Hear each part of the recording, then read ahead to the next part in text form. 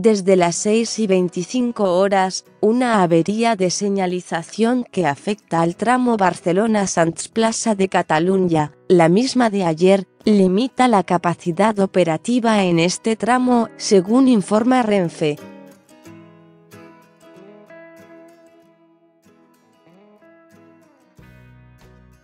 Este enésimo fallo afecta a la circulación de la R1, la R3 y R4.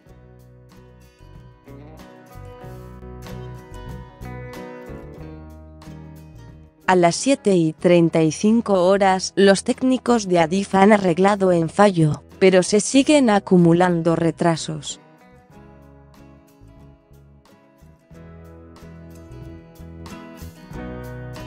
con el objetivo de reducir el tiempo de espera en el interior del túnel y no acumular demoras superiores a 45 minutos como ocurrió ayer, la compañía ha reducido la frecuencia de trenes en las líneas R1 y R4 y selectivamente se han desviado trenes por la estación de França y por el túnel de Passeig de Gracia.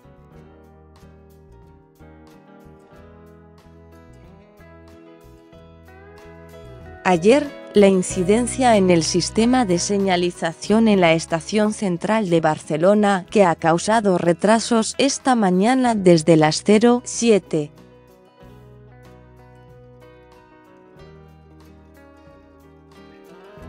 30 horas de la mañana no empezó a normalizarse hasta las las 11 y 40 horas, tras 4 horas de demoras en la línea R1, R3 y R4 de Rodalies.